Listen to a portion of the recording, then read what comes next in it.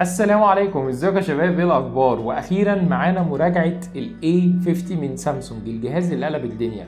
وقبل ما أبدأ أنا حابب بس أوضح لكم أنا كان ممكن أعمل فيديو سريع أجيب الجهاز النهارده وأطلع أعمل له review بكرة لكن طبعا مش دي الأمانة ولا دي المهنية. على الأقل لازم الجهاز يقعد معايا 3 4 أيام أكون اتعودت عليه وأكون خدت فكرة على الأقل مبدئية عنه وبعد شهر ولا شهرين نبدأ نعمل لكم فيديو تاني. والنهاردة فعلا قدرت إن أنا أكون فكرة استخدام عن الجهاز ونقدر نعمل له مراجعة ونقدر نقول العيوب والمميزات بتاعته بكل صراحة. أنا محمد طايل ويلا بينا نبتدي.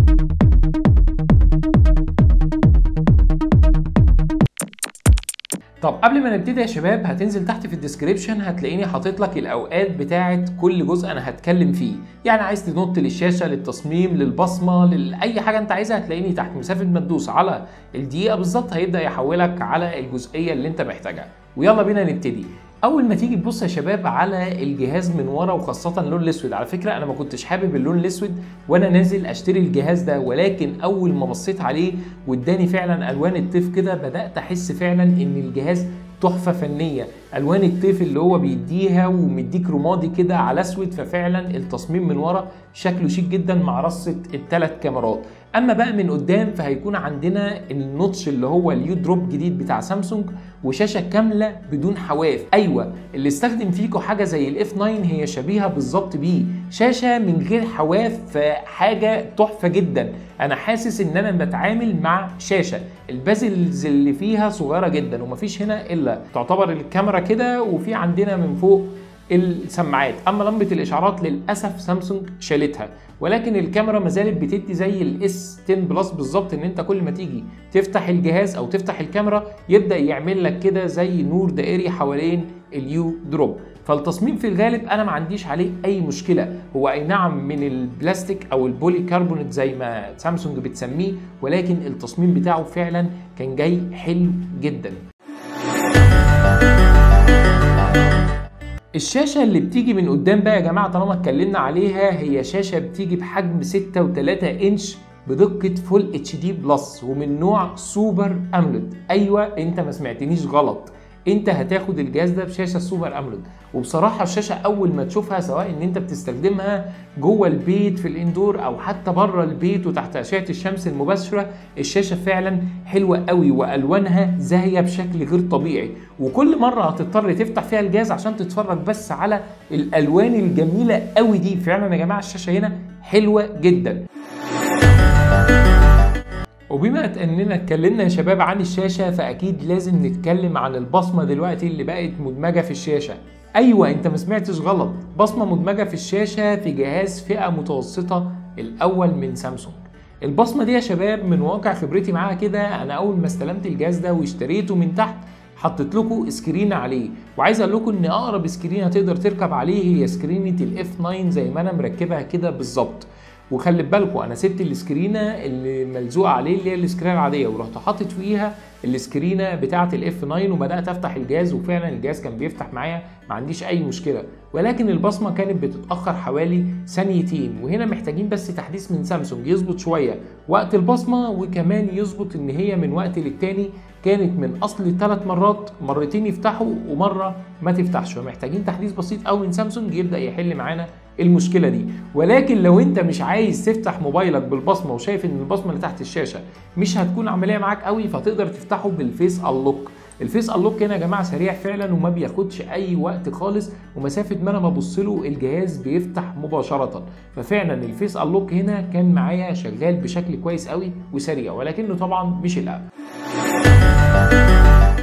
وأكيد يا شباب مع الشاشة القوية قوي دي شاشة فشيخة فأكيد لازم ناخد معالج قوي جدا. وسامسونج هنا فعلا قالت لي أنا هصالحك يا طايل. وادتني إكزينوس 9610 بدقة تصنيع 10 نانومتر ثماني الأنوية والنسخة اللي بتنزل مصر والوطن العربي هتكون برامات 4 جيجا وذاكرة 128 جيجا.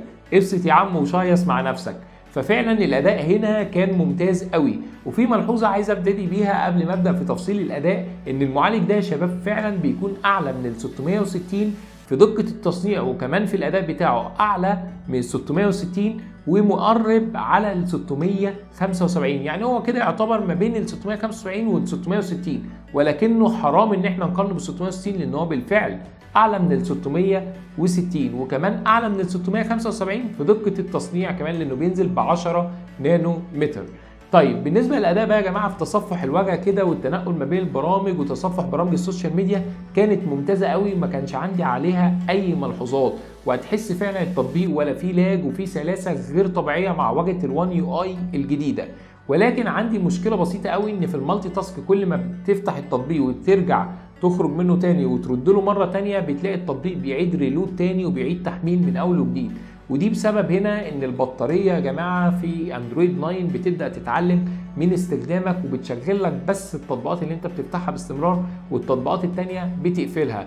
ده المفروض الطبيعي لكن هنا كله بيتقفل. فمحتاجين تحديث من سامسونج يخلي فعلا خاصية ال adaptive battery اللي موجودة في Android 9 تشتغل بشكل فعال أكتر من كده وفعلا تسيب لها التطبيقات اللي إحنا بنستخدمها في الخلفية. أما بالنسبة للألعاب فأنا جربت على لعبه ببجي والأداء فعلا كان كويس جدا ولكن عندي ملحوظة صغيرة قوي إن كان في بعض الفريمات بتقع أثناء اللعبة. عيبها عيب software مش hardware فمحتاجين برضو من سامسونج إن هي تبعت لنا تحديث يحل المشكلة دي خاصة إن ال GPU هنا بيكون Mali G72 MP3 وده موجود في معالجات تانية flagship اللي نزلت السنة اللي فاتت في بعض التليفونات. فلازم هنا يوصل تحديث فعلا يعدل شوية من أداء الجهاز لأن كل العيوب بتاعته كانت software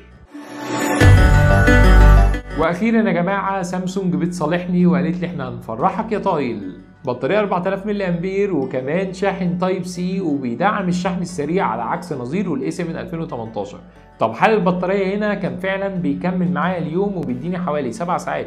screen on time لو أنا استخدامي كان من متوسط إلى تقيل يعني ما بين الاستخدام الواي فاي وال data ده لو أنا قاعد في البيت. أما لو أنا بنزل بره وبفتح شاشة على طول واستخدامي بقى شاق و GPS وبفتح كمان بلوتوث وبوصل سماعة مع ساعة وبفتح كل الكلام ده وما بقفلش ال data أصلا فكان استخدامي هنا بيوصل لي أربع ساعات screen on time. ففعلا البطارية هنا كان أدائها ممتاز قوي وما كنتش معاني معاها بأي مشاكل وهتكمل معاك اليوم وهتشحنها بس في آخر اليوم. الكاميرات يا شباب اللي برضو عليها جدل زي ما كانت على نظيره السابق ال A7 2018 الكاميرا الرئيسية هنا بتيجي 25 ميجا بكسل بفتحة عدسة F 1.7 وعدسة تانية ultra wide 8 ميجا بكسل بفتحة عدسة F 2.2 وآخر حاجة اللي هي كاميرا 5 ميجا بكسل ودي مسألة بس لتحديد الأطراف والعزل ودي بدقة 5 megapixel F 2.2 الثلاث كاميرات دول بيطلعوا صور حلوة لكن خلينا نمسكهم كاميرا كاميرا. الكاميرا الأساسية ال 25 ميجا بكسل بتطلع معاك صور حلوة جدا بالنهار. وصور بالليل فعلا كويسة وده اللي بيساعد فيها فتحه العدسة ال F 1.7 أما الكاميرا اللي هي 8 megapixel ال ultra wide فدي كاميرا هتديك صور حلوة جدا بالنهار. ولكن بالليل طبيعي إن التفاصيل بتاعتها تقل وما انصحكش إن أنت تستخدم ال ultra wide بالليل عشان فتحة العدسة بتاعتها كمان ضيقة. أما بالنسبة لصور العزل بقى وال portrait mode واللي سامسونج بتسميه ال live focus الكاميرات هنا بتكون فعلا صورها حلوة قوي في مسألة العزل طول ما انت في إضاءة قوية ولكن بتبدأ يقل تدريجيا وبتبدأ الكاميرا تغلط شوية في تحديد الأطراف لو الإضاءة عندك كانت منخفضة ودي طبيعة الحال في كل الفئة المتوسطة. أما بالنسبة بقى للكاميرا الأمامية واللي بتيجي 25 ميجا بكسل بفتحه عدسه F 2.0 الكاميرا الأمامية دي يا جماعة بلا منازع ومن غير نفاق ومن غير تطبيل دي أفضل كاميرا أمامية أنا شفتها على أي جهاز فئة متوسطة حتى الآن. الكاميرا فعلا بتطلع dynamic range بشكل كويس جدا والصور بتاعتها مقبولة وال sharpness بتاعها حلو قوي. فالكاميرا الأمامية سواء هنا بقى بالليل أو بالنهار في إضاءة قوية أو إضاءة ضعيفة هتطلع معاك صور ممتازة. اوفر اول في الكاميرات كويسة جدا ولكن الكاميرا الخلفية محتاجين تحديث بسيط عشان يعالج مسألة دقة التفاصيل اللي في الصور.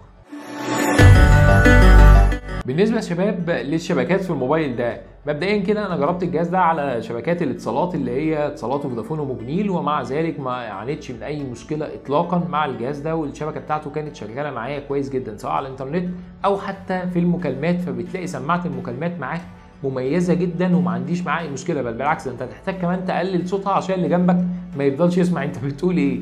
لكن عندي bug غريبة قوي في ال software bugs كده يعني في بعض كده الأخطاء في ال software أول ما بيجي لك رسالة على الواتساب السماعه عالية أول بقى ما بتيجي تسمعها وتحطها على ودنك بتحس دايما إن السماعة دي قليلة قوي والصوت بتاعها بيبدأ ينخفض ودي هنا مشكلة software مش مشكلة السماعة. أما بالنسبة للسماعة الخارجية هي mono يعني مش ستيريو ولكن سماعة صوتها عالي قوي وفعلا جودتها متوسطة.